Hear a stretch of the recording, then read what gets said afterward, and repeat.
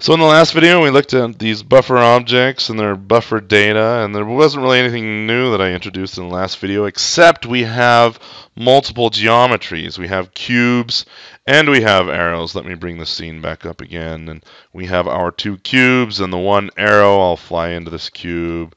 You can see the arrow is poking into the cube this big hodgepodge of geometry. But anyway, we have this cube vertex buffer and this cube index buffer, this arrow vertex buffer, arrow index buffer. And in order to get these to render appropriately, before we do our draw elements call, we have to do the vertex attrib pointers, and we have to bind the appropriate buffers, and same thing here, bind the appropriate buffers, do the attrib pointers. And there's runtime overhead to all these calls, and it's just a headache. It's just a headache. All this code is sitting inside of our paintgl function. paintgl. And if you recall, when we sent our data down to OpenGL, we, we generated the buffers, we sent the buffer data down, and, and generate the buffers, send the buffer data down, same thing. Gen buffers, send it down, and we no longer have to do this. We only do it once, and we can reuse it throughout the entire program. And I want to clean up our paint call so that we don't have to do these attrib calls here. I want to do them once and only once. And that is where vertex array objects come into the picture. I've seen texts talk about vertex array objects. And you'll see several examples with vertex array objects, but it's confusing. It's like, what are these vertex array objects? Here we are on video something, 60 something in my playlist, and we have not yet once used a vertex array object. So I'm not quite sure why all of those texts like, or those books, texts, whatever you want to call them, I'm not sure why they like to jump the gun and start using vertex array objects so soon. But we are now poised in a perfect position to use vertex array objects to make our life simple. Vertex array objects essentially track all of the state that we set up with bind buffer and vertex attrib pointer calls. Right? We no longer have to send this in, these instructions. I don't have to call these functions anymore. And every paint, I can just do it with a vertex array. The vertex array will keep track of all of this. And then all I need to worry about is setting up my matrices and doing the draw call. And if I'm using instancing that we've seen in previous videos, I don't even really have to do much with the uniforms. I could just send down my matrices into my buffers and do the draw. Anyway, in this video we're going to focus on eliminating this because the vertex array objects will keep track of that for us and so on and so forth. So without much further ado, as they say, let's let's get to it. Here's initialize GL. We send data to OpenGL. We really could do our uh, vertex array object code anywhere after that, but I'll do it right here. Set up vertex arrays. Vertex array objects are like these buffer objects. We create them, we store an ID, OpenGL manages them for us. It's just up to us to tell OpenGL what we want OpenGL to do with it. So I'm going to copy that function, Control Alt L. Actually, I'll just click here and I'll put it right here. We shall declare the function.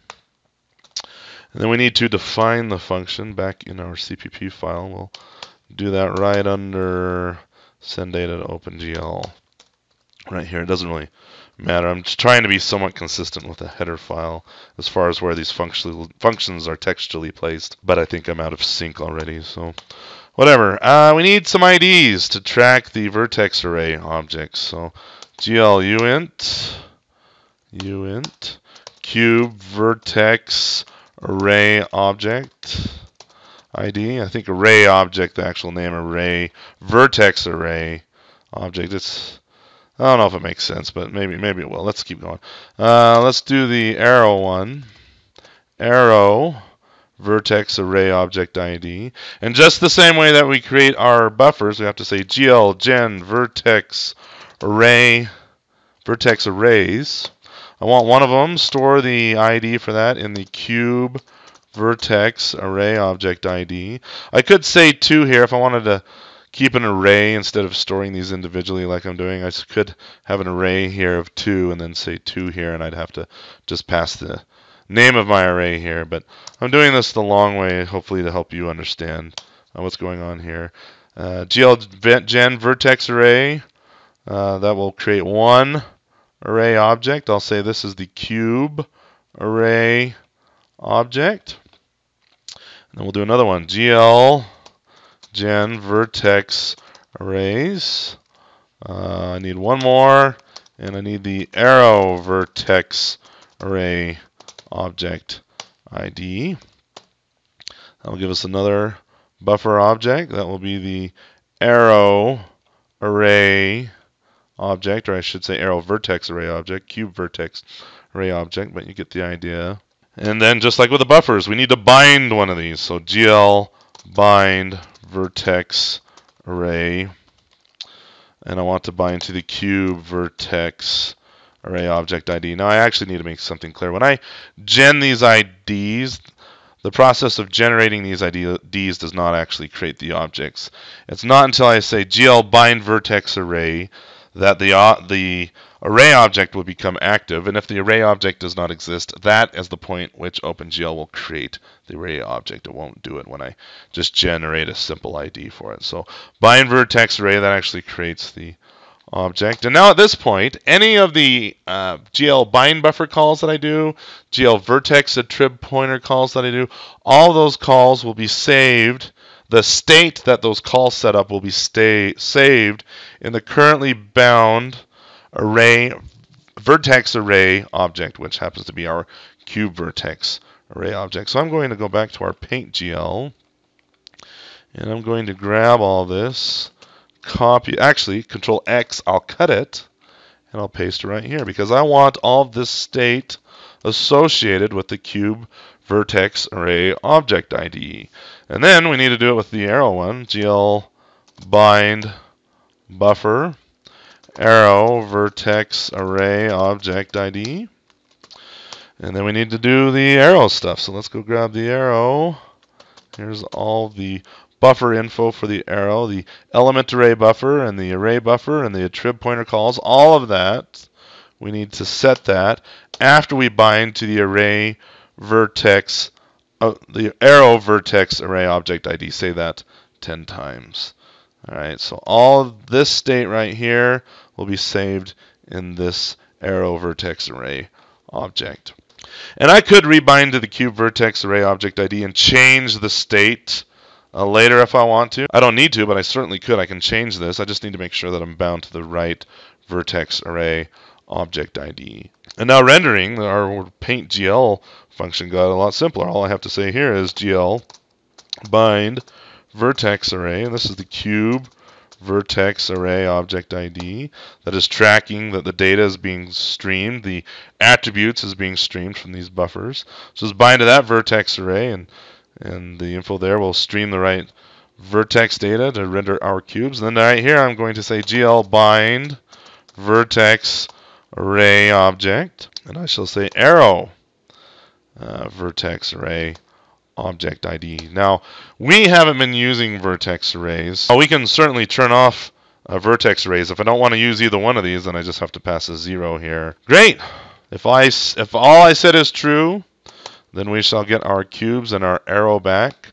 I'll control F5, but I want you to pause the video and just think for a minute. There's a gotcha, and I haven't told you about the gotcha. Pause the video and think about the. See if you can identify the, the gotcha before continuing on. Control F5, build, run, and and the gotcha is not that I screwed this up. Oh, stupid me. I meant to say GL bind vertex array right there. Okay. All right. There is still a gotcha. There is still a gotcha, and that was not it. That's not the fact that I, I'm going too fast. Here we go. Control F5, build run. Nothing renders. What's the problem? Any idea what the problem is? Nothing renders. I'll tell you what the problem is. I'm going to do a search for GL enable vertex attrib array. Remember we did we enabled those attributes, both attribute 0 and attribute 1. We have to do that so that those attributes aren't pulling static data. We weren't bound to the one for the cube, nor the one for the arrow. We have to do these calls as well uh, after we bind to the vertex array.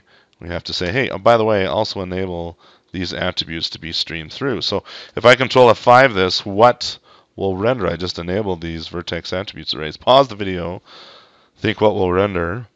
Control F5, and we get two cubes. Right, two cubes. We no longer have the arrow though. Where's the arrow? Why is the arrow gone? Any idea? Hopefully it's obvious why the arrow's gone. If I bring this diagram back up, this cube array object or vertex array object is keeping track of the fact that attributes 0 and 1 are enabled. Stream them in.